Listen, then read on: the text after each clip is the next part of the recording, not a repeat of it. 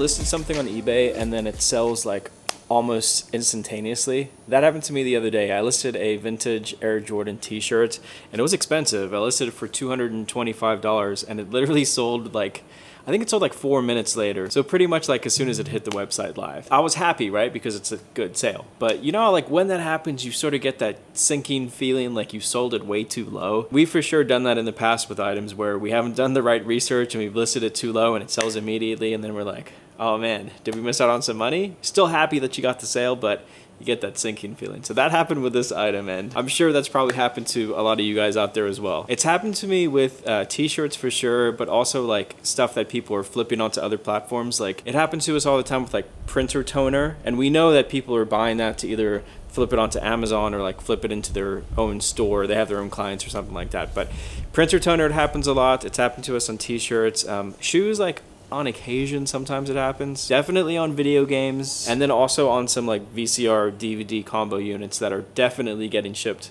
to amazon. Because you know like some of you have probably had this happen when something sells and then in the note they say please don't include any invoices or extra packaging because it's a gift. Whenever that happens i know that it's a drop shipper to amazon and i wish those people would just be like hey i'm an amazon drop shipper. Can you just not put any ebay stuff in this? Because i wouldn't care. I mean we're making money. They're making money. Whatever. But yeah i wanted to start today's video off just sharing that one with you guys because I don't know, I thought it was funny. I didn't really do too much research into it. I feel like 225 is a fair price for that t-shirt. It was a size medium. On this one, I think it was literally just like a collector who's been watching. Maybe they have that keyword set because you can like save searches on eBay. So maybe they had that keyword saved on eBay and as soon as it popped up, they were like, yes, this is the one that I've been looking for and they snagged it up. But yeah, I thought that was funny because I'm sure that's happened to a lot of you guys as well. Um, for the rest of today's video, I thought that we could just go through some more eBay sales. So this will be like a what sold on eBay last week or this week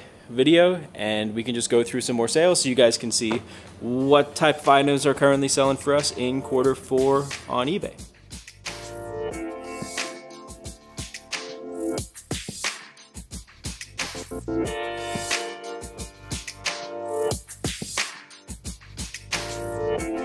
Okay, so I've picked out a total of 14 items that have sold for us on eBay recently, and I'm gonna jump over to my computer and I'll show you all the items and how much each one of them sold for. There's a good mixture in today's what sold video, some good shoes, some good toys, um, some electronics, a, a wide variety of different items that I'm gonna show you today. But more than that, at the end of today's video, I also wanna kind of break down the numbers for you guys, and I want you to kind of understand how we look at our business, not just from a, a single sale, but looking at things more for for the business as a whole. Because I think a lot of resellers get caught up in I bought this for one price and I sold it for this price and this is how much money I make. But as you start to scale your business up, as you start to get more and more into wholesale buys or just more and more into buying more stuff and selling more stuff on eBay, I think it's kind of important to change your mindset a little bit from one item at a time to the overall grand scheme of things. So I'm going to talk about that at the end of today's video, but for now, let's jump over to our eBay store and let's go through these items that sold. So the first item is this pair of the North Face men's boots. This pair sold for $41 $2.23. One thing that you will notice is that we have been running a sale on some of the items that have been sitting on our eBay account for a while, and we ran that sale for 25% off of the item. So this item was listed for $54.97,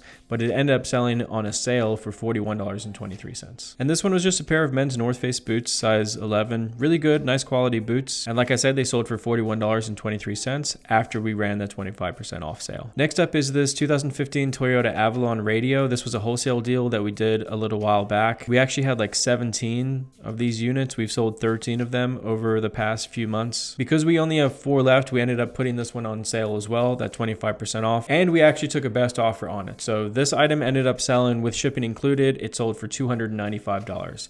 And that's the other thing, guys. I'm going to include the price of the item plus the shipping together in the numbers that I'm telling you. And you'll see why again at the end of this video when we start to talk about the overall business. You'll see why I'm including the selling price and the shipping together. Some things we do free shipping on, some things we charge shipping on, but at the end of the day, it is all together. This is another item that fell under that 25% off sale. This is a vintage LL Bean jacket, and this item went down to $32.23 with that 25% off sale. We left best offer on, and it ended up selling for $27.72. Next up, a brand that does incredibly well for us this time of the year, American Girl. These happen to be new. We got two of them brand new in the box. We paid, I think, 50 bucks a piece for these, and they both ended up selling for full price, $124.97. Here's another vintage t-shirt. This one was also sold the same day that it was listed. So this was a very fast sale as well. Not quite as fast as that Air Jordan piece, but still a very fast sale. We had this one listed for $129.99, best offer on, and it sold for $110 with free shipping. We include measurements like this as a picture so people can see exactly what the t-shirt measures. As you can see, this one is tagged an extra large, but it actually measures a bit smaller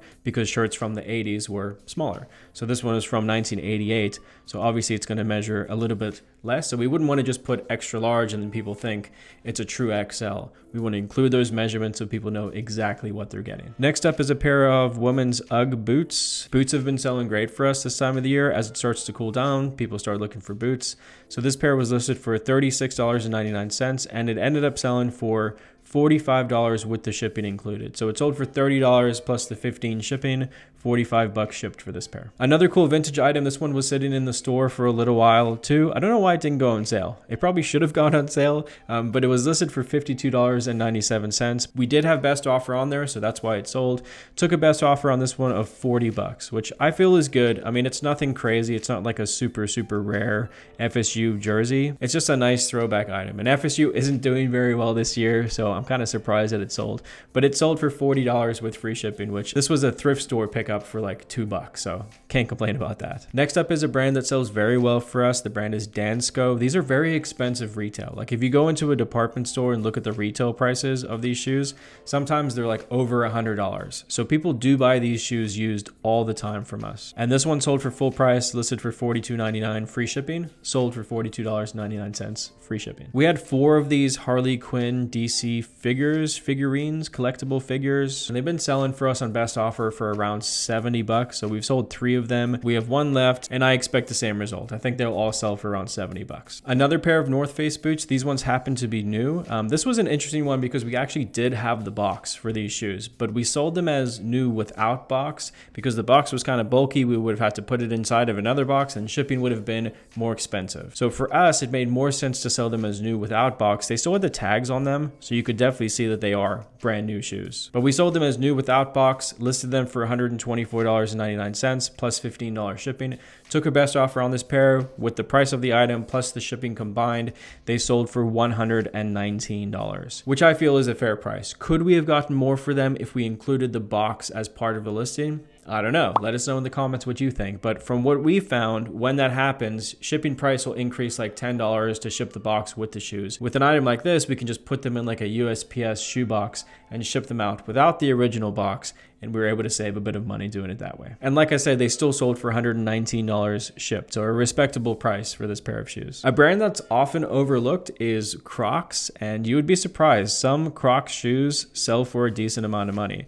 And this pair we had listed for $38.99, took a best offer on it for $30. But even still, like these you you see them at thrift stores all the time or at garage sales for like one or two bucks. Or at least we do. And, and some of these things are pretty expensive. So even if you're taking two, three dollars and turning it into $30 with free shipping, you're still making a good $15 profit at the end of the day. So don't overlook stuff and think it's only worth $10. Make sure you're still looking it up and educate yourself on which models and which styles are worth more than others. Another good sale here, this was a new open box item, Sony V1633 Sony Xplode speakers. They sold for full price, $67.97 with free shipping. This next item is a brand that we used to sell all the time. Now we only sell like the jackets or the higher end version of the shirts. The brand is Masters. I'll see if I can get a close up of the logo. It's like America with a golf flag stuck in it. But yeah, some of these do better than others. This was a woman's Masters golf jacket. It hit that 25% off sale and we still took a best offer on it. So it actually ended up selling for $47 with shipping included. And then lastly, this is the one that we talked about earlier, the vintage Air Jordan Nike blue tag size medium vintage shirt. This one sold for 225 plus an additional $6 shipping. So $231 is what this t-shirt ended up selling for. Okay, so now that you guys have seen some of the sales, let's talk about my favorite part of the business, which is the numbers. I like to look at the numbers. I like to know exactly how much money the business is making or losing on some weeks because it's not all about like making as much money as we can we obviously spend a lot of money too to make a decent amount of money as well. But as I was saying, sometimes it's good to get like a fresh perspective on how other people look at their sales figures. So that's what I want to do here. So we're going to take these 14 items that I just talked about as an example for the purposes of this video. So total sales from those 14 items, total gross sales comes out to $1,292. So the first thing we do is we look at the total sales. How much money did all of the items bring in before cost of goods, before shipping, before fees? What's the total total number that those 14 items brought in, which in this case, it's $1,292. The next thing I want to look at is fees. Now, when we're calculating eBay fees, what I have to keep in mind is eBay fees are around 12.35%. We also get a discount for being top rated seller plus, but then we also pay some promoted listing fees as well. So we'll pay to promote our items when those items sell under that promotion, we will have to pay an extra fee. Typically that fee is between like 3 to 8% depending on the item that we're selling. So for the case of this video, when I calculate fees, I'm gonna do it at 15% of that total sales amount. So that works out to $194 in fees. So next is shipping. And remember what I was saying, sometimes we charge shipping, sometimes we don't charge shipping. The majority of the time we like to offer free shipping. And the way that we're able to do that is we cost average our shipping out across the board. So that's a question that we get a lot is how are you guys able to offer free shipping when you're shipping something from Florida To California and it costs $40 to do that? And the answer to that is we're not looking at that one transaction.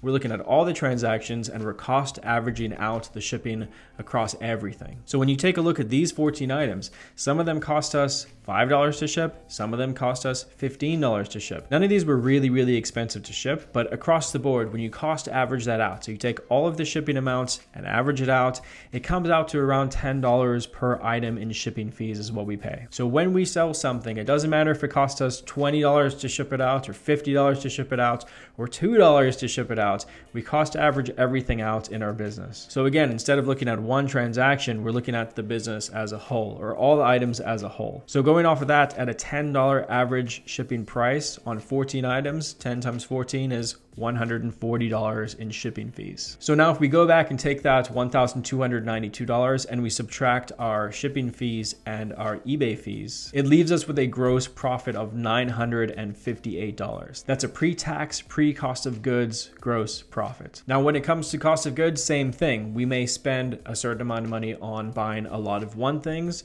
and we may spend a lot less on buying something from a thrift store. So even on our cost of goods, we still cost average that out. So if we go based based on a 40% cost of goods, which is high. We try to keep it under that, but let's do it based on a 40% cost of goods. That's $383. So if you take $958 and subtract $383, we're left with a pre-tax profit of $575.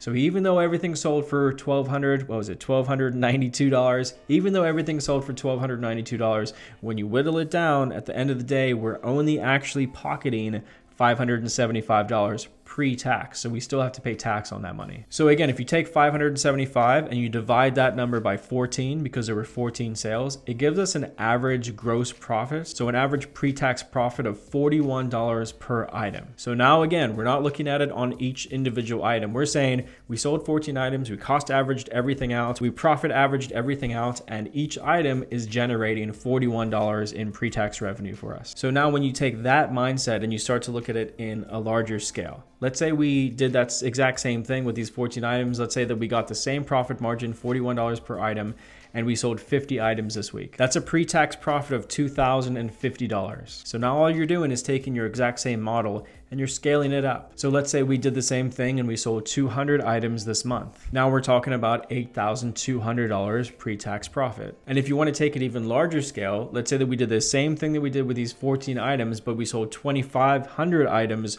over the next 12 months. So that would be $102,500 pre-tax annual profit. So I'm sharing all this with you guys so that you can kind of understand the way that we look at things. We used to do it one item at a time. Now we do it as our business as a whole. And for us, it's actually even harder because we have multiple revenue streams coming in from different areas, not just eBay. We do eBay and Amazon and YouTube and mentoring, investments, wholesale. There's a lot of different aspects, a lot of different revenue streams coming into our business. But if you can start looking at things like that, cost averaging it out as you scale up, as you start spending money on more and more products and selling more and more products, it's actually a lot easier to keep track of things when you look at it that way. That being said, obviously you still want to make sure you're keeping all of your receipts and all of your invoices for tax purposes. When it comes to the end of the year and you give all that information to your CPA, you want to make sure that it is concise and you want to make sure that you're keeping good records in case you get audited or something like that. But yeah, just a different way of looking at things. I hope that maybe like helped a few of you guys out. Um, hopefully you enjoyed this video as well. Maybe you picked up some things that you can be on the lookout for as well. Do me a favor if you don't mind guys and girls, please hit hit the thumbs up button on this video. It only takes a second. I'd love to see like, I don't know, a thousand thumbs ups on this video would be awesome. So please hit the thumbs up button on the video. Leave a comment. That's even better because that'll help drive some traffic up on the video as well. And I do want more and more people to see this type of video breaking down the actual numbers as well. Because I don't like it when people show, you know, I made $100,000 when at the end of the day, after you break down all the numbers, they're only making like 10 grand. We want to show the reality of reselling. So $1,292, you're actually only making 500 $175 pre-tax. So hopefully you appreciate me like kind of showing the reality of this. Anyway, guys and girls, I appreciate your time. Thank you so much for watching and uh, I will see you on the next one. I'm Ryan Roots. Peace out. Bye.